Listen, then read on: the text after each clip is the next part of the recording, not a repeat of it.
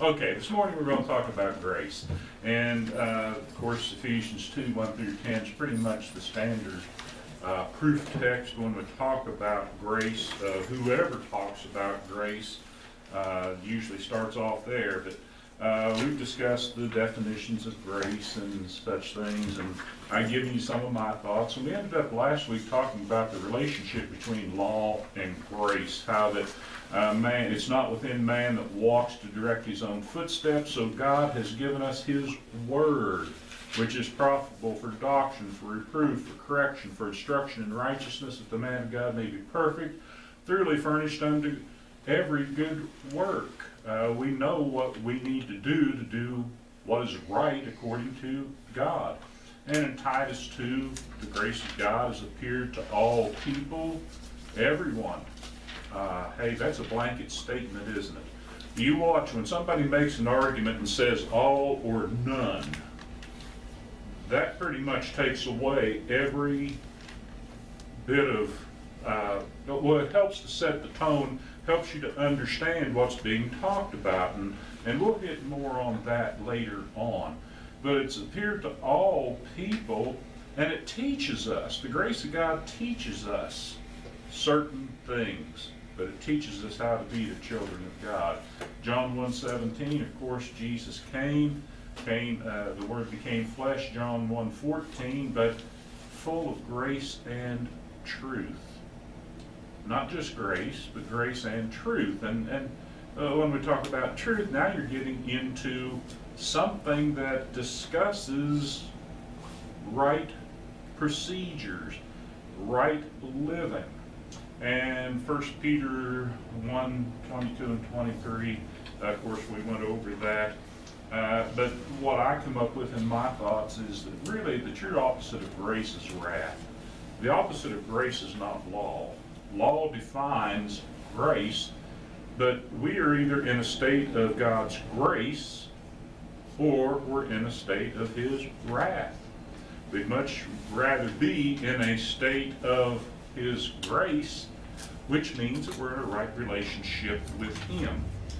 Now, I, I've given you some handouts last week to kind of look over. Don't worry about it. We're not going to get to them this week because as I was going back over the lesson, looking at it, I thought maybe I ought to explain where this difference uh, between grace and law originates.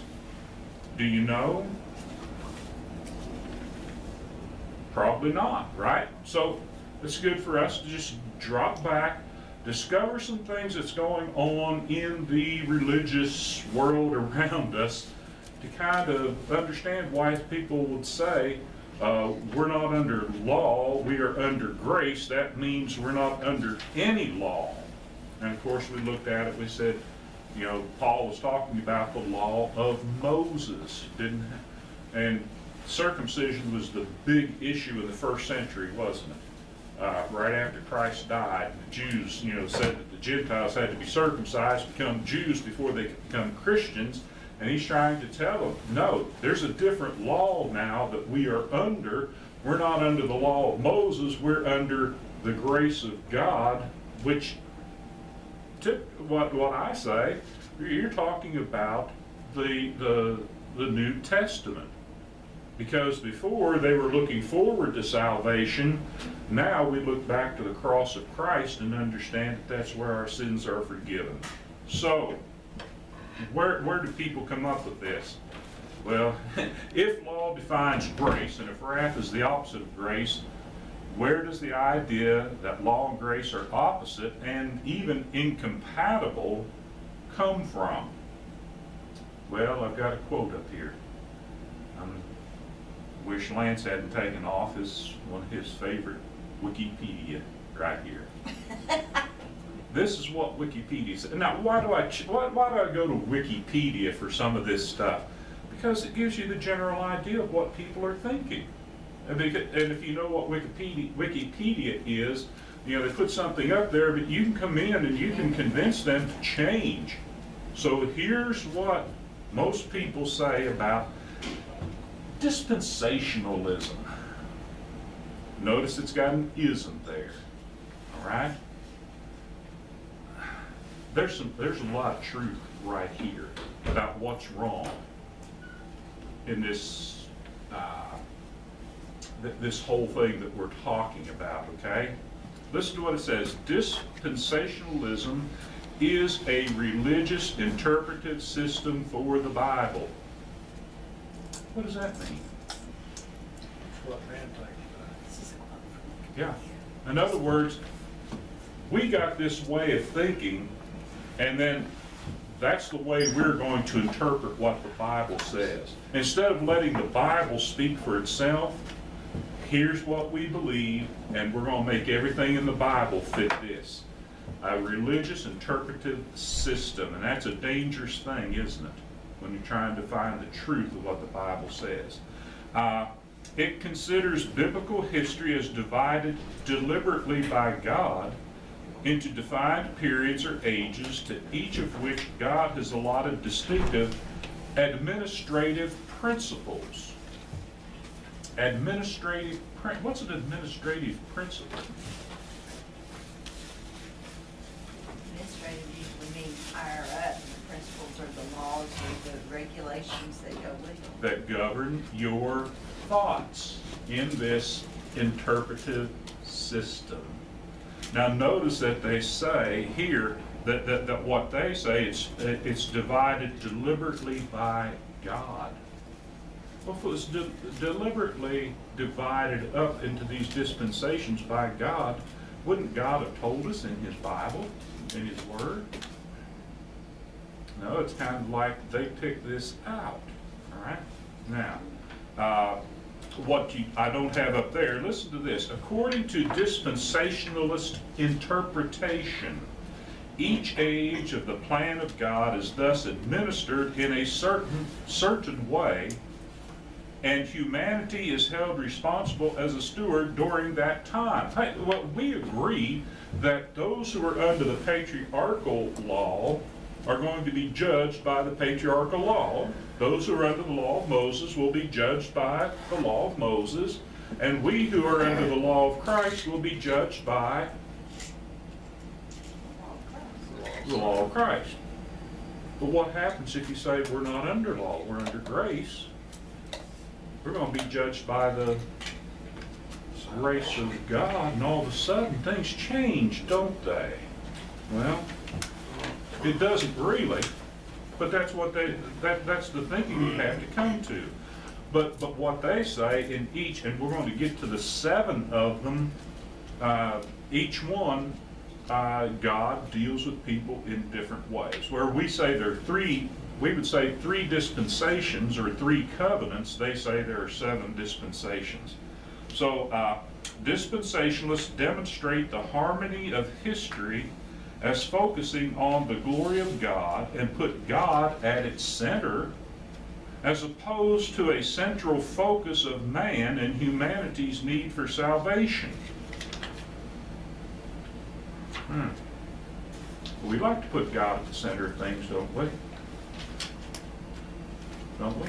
Yeah. But, but, but then again, isn't salvation because man needs salvation? Didn't Jesus come and die upon the cross so that we could be saved? Right. So you, you, it, it's like we're going to take away everything about this. This is about man, and it's about saving man, and make it God's deal. That that God. Well, you'll see it when we look a little bit further into Calvinism. That that that God before that he created the universe decided that there were certain individuals who were going to be saved and certain individuals who were not. And it doesn't matter anything, whether they believe or whatever they do, it's just the way it is. All right? Now, uh, a couple notes is there in Wikipedia. That was from Wikipedia, okay? Not a good source. It, well, it's a general source which is good for us as a jumping off point, and that's what I'm trying to express. Okay?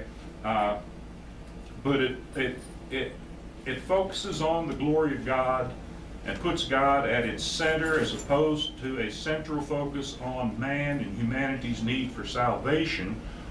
Where, where, where do they separate?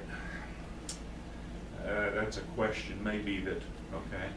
Remember I told you that for the first few hundred years, the church pretty much followed the New Testament?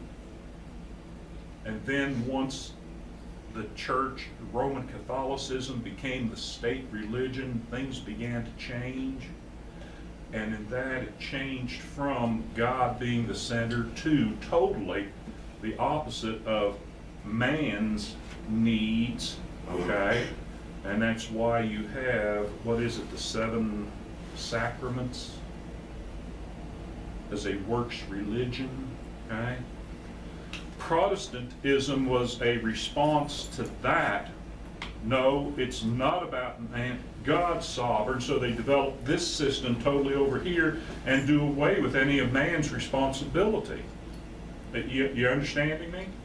Where the Bible says it's a cooperation, that God created us, we fell, we need salvation, God has provided that, but we have to do something for us to be saved. The grace religion, so to speak, you can't do anything. You just can't because you're dead. You're dead in sin. You can't do anything. All right? So, uh, a dispens, uh, this is a note, dispensational perspective of Scripture is evident in some early Jewish circles as seen in the Dead Sea Scrolls, like the community rule. And you could go and you could read that. Dead Sea Scroll, Scrolls, the Dead Essenes. Remember, they found them at Qumran in the caves. That's like, there's a lot of writings there. They're not scripture, but they tell you what people were thinking back in those days. And they had sort of a a few of them had a, a, a view of dispensationalism, all right? So if we, you go back and you grab hold of that and you bring it 1600 years into the future and say, hey, we're going to make that our principle, that's not very good Bible study, is it? No, no. Okay, and the second note, early Christian fundamentalists. Have you ever heard of fundamentalists? Okay. Embraced the system as a defense of the Bible against liberalism and modernism, and dispensationalism became the majority position within fundamentalism. Now, what is the greatest example of fundamentalism? Where is it expressed at its highest? United States, between 1900 and early 1930s, culminating pretty much in the Scopes monkey trial. You've heard of that? Okay, you've heard about the Scopes monkey trial. The fundamentalist view was God has spoken, that's final. We don't want to hear any more. We don't want to hear any more. And even though the fundamentalists, so to speak, won the Scopes monkey trial, you see where it's led to, right? Now it's all about evolution and they're not talking about creativity much. Right. At least in the textbook. Right. And basically what the fundamentalists were saying, well, we got the Bible, we believe it's true, and you're going to believe like we believe, or we're going to punish you through the law. And then all of a sudden, as things change, instead of, of fighting evolution and the modernism on the basis of facts and proofs, they said, we don't have to prove anything. We just got the Bible, and there it is. Okay? So they won that, but they, they lost the war for a long time, didn't they? Now, now, things are changing. Notice that, because, uh, it- the, uh, scholars, biblical scholars, number one, that they've gotten their, their faith back, and talking about intelligent design as a fight against evolution is really powerful. So you see a, a growth in faith. Okay, so understand, it's dispensationalism is a religious interpretive system. They say, this is the template, now you use this to determine what the Bible says. Typical seven dispensation scheme is as follows, and you can find this just about everywhere. Number one, they, they break it down into an age of innocence, and that's from Adam to the fall. How long a period of time was that? We don't know, do we? We really don't know how long they existed in the Garden of Eden before the fall and were kicked out. But from the fall, see, God had this, you know, they were innocent. Now they've sinned, so boom, you got to change it to conscience. And that goes from the fall to the great flood, to the time of Noah. People just lived by their conscience. And of course, you see, it was a steady decline away from following God, except for a few in that lineage of Shem, the Shemites, the Semites, whom Noah was. Noah and Lamech and Methuselah and Enoch as you go backwards uh, in the genealogy. But at an age of conscience. Then you have an age uh, or dispensation of human government, and that's after the great flood to the dispersion of the Tower of Babel. Okay, everybody was kind of together there, but it was human government. Human government failed, right? Right? Innocence failed, conscience failed, uh, human government failed. Then you have promise, and this is Abraham. Remember, Abraham comes along just right after the, the, the Tower of Babel's destruction and people are driven out. And, but there you have what they say is the dispensation of promise. It's about the promises of God. Abraham found faith because he believed what? Not that he believed God, but he believed the promises. Well, he believed God who made the promises, but the promises become the, the main point. Then you have, uh, that was from Abraham to Moses, the law. Okay, notice it doesn't say law of Moses. It's just law, this dispensation of law. From Moses to the crucifixion of Jesus Christ, had law in the form of law of Moses. Wait a minute, weren't the Gentiles under law? We believe they were. We believe they were under the patriarchal law, right? Same as what uh, Noah was under, what Abraham was under. But then you have the dispensation of grace, and that is from the cross to. That's different. Where's the rapture of the church mentioned in the New Testament or in the Bible? It just isn't, right? It's not there. It'd be crossed to when Jesus comes back again would be when that should be, right? Well, it's a template, again. And dispensation, dispensationalism has this template that also involves pre, what's called premillennialism. Okay? And we'll look at a little bit of that too. Because this is all in, in trying to understand what these people, why they express things the way that they do. So, and that's what, here, that's why they say, we're not under law. That was a dispensation back then. We're under grace. We're under grace. God has just decided who's going to go to heaven and who's not, and there's nothing you can do about it. God will change you. God will do it all for you. You don't have to, you may not even know it. Okay? But then the seventh one is the millennial kingdom. And that's the thousand year reign of Christ. And listen, most of our brethren in the 1800s were millennialists. That they believed in a in post-millennialism. They thought that if they, especially the churches of Christ, because with the restoration movement, and you saw just boom, an explosion across the United States and in England and all, you know, basically all over the world. Restoration, going back to New Testament principles. Hey, we are ushering in a thousand years of peace, and at the end of that, Jesus is going to come back. Premillennialism teaches now Jesus will come back, he'll rapture his saints and leave bad people here but the bad people are, most of them are going to be converted.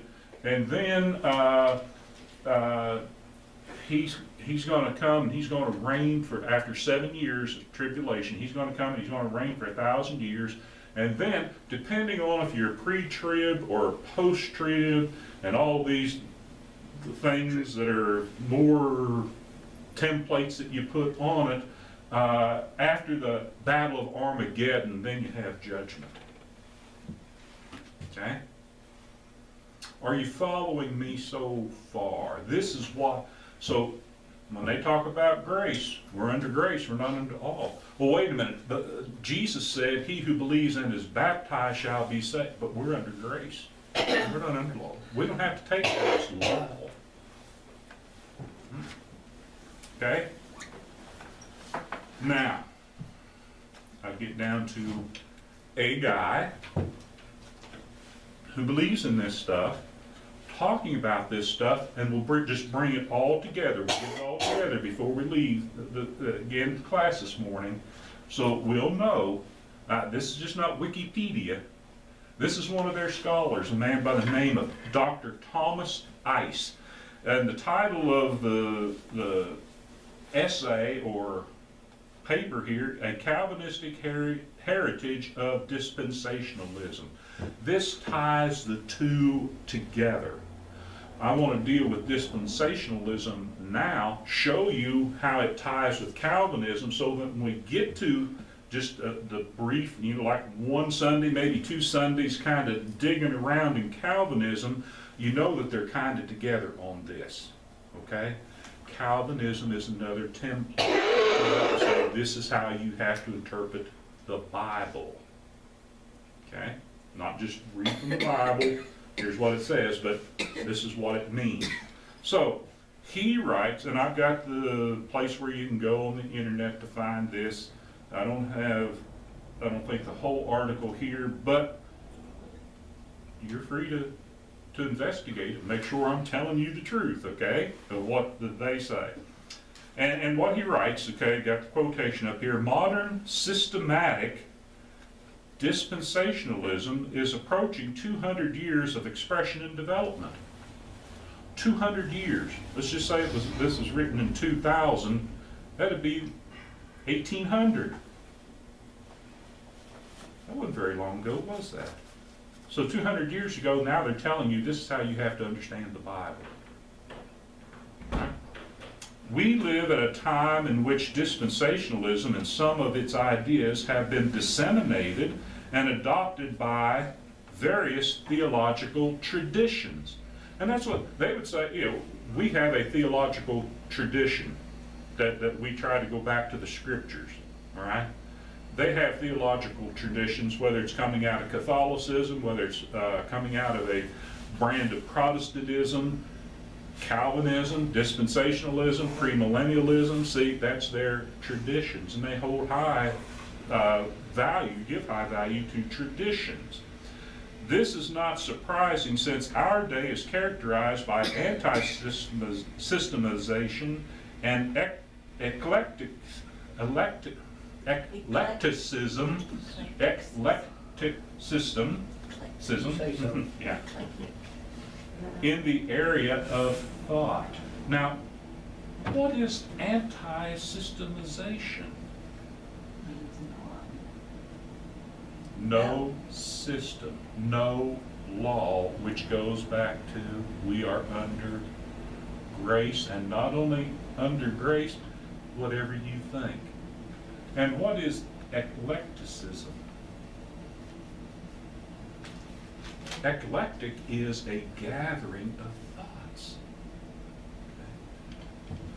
Maybe we won't get too much further than this today. What's the big thing in Christianity today?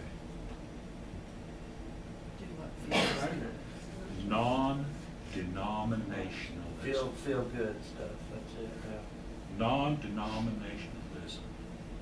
Well, I talked to a guy, he said, where do you preach? Oh, I preach over, know, well, you know, he lives in Tampa. Well, I, I found a little church down here that's non-denominational and I want to go there. What does non-denominational mean? Supposedly, they don't favor one religion over, group over another, right? Basically, is they take from everything, Yeah. okay, And if you go there, well, if you think you need to be baptized to be saved, they'll baptize you. If you don't, you don't have to. Just whatever you want goes. But if you look at it, their belief system then is really what? Oh. Based on Calvinism, premillennialism, and all of these things. So you got to be careful. Listen, we've been undenominational, not non-denominational, undenominational. It's what we're supposed to be. Just go back to what the Bible says. When you start denominating and put an ism here in front of it, that's where these different groups come from with their different ideas. And, and today it's just, well, if you got an idea, do it. You know, whatever. Uh, you could have the, the, the, the church of the lollipops and whatever, you know, just, we, oh, we believe in lollipops and we pass out lollipops or, you know, just pop lollipops for the communion, you know. All right. Let me see if I can, it's right at 11. Okay, let, let me just get through this. It may be surprising to some, this is Phil Ice as he writes, to learn that dispensationalism was developed and spread during the first 100 years of those within a reformed Calvinistic tradition. There you go. Tradition. It had only been in the it had only been in the last 75 to 50 years, and I don't know why he states it that way. He's going backwards. We'd say 50 to 75. But 75 to 50 years that dispensationalism and some of its beliefs, it has its own set of beliefs, were disseminated in any significant outside of the order of Calvinism. So, Reformed, theolo- Reformed theology and I, I've talked to you, you had Catholicism, then you had a group that wanted to reform Catholicism. Okay? Karen grew up as a Methodist. In our early years, when we were dating, I'd go to church with her. I'd look in, in some of their books, like the Psalter that they had, and it put in there that they give something about the Holy Catholic Church. Methodists are not Protestants. They're still trying to reform the Holy Catholic Church. Right? Protestants, on the other hand, have protested against the Catholic Church, say Re- Reformation didn't go far enough. And that's really where you get more into getting into the faith-based, uh, faith-only, grace-only uh, tradition. Okay? Are you following? it? You got it? Okay. This is still Ice writing. This is not to say that dispensationalism and Calvinism are synonymous. No, because they're, they're, it, it's two different systems that they kind of marry together and they still argue about it. They still argue about this stuff like pre-trib, post-trib, premillennial, postmillennial. You find their writings. And he says, I merely contend that it is consistent with certain elements of Calvinism which provide a partial answer. Calvinism only provides a partial answer as to why dispensationalism sprang from the Reformed womb. So, dispensationalism comes from the Reformed womb. Calvinism drove more of the Protestant than what it did the Reformed. But then uh, Calvinism kind of picks up with the dispensationalism to move forward with these new. Do you see why the religious world is so divided? Why Christianity, as we call it, is so divided? Because of this that continues to go on. They cannot lay down their thought system. The Catholics, their works religion. The uh, reform, you know, their, their dispensationalism and, and such, the, the the Protestants, their Calvinism, they can't lay it down and just pick up the Bible and see what the Bible says. What we've got to be very careful of is when these things are brought in, they're kind of accepted by the church. Listen, I know a lot of people in this area that listen faithfully to a radio station down in Wheeler that teaches this stuff. Okay? I don't say don't listen to it. What I say is be aware of what's being taught so that you'll know the difference between that and be able to pick up and, and know what the Bible says. Okay? All right. Do you have any questions? Does this help? Absolutely. Okay, that, that's my key thing, and I thought, and that's why I did this instead of the handout. We'll try to do that handout next week. What is grace? That one guy's kind, and and you'll see it then. Oh, it's all about, it's all about God. It doesn't matter about man. It, it leaves us with nothing to do. So, thank you very much for your time and your attention. I appreciate it. Vice.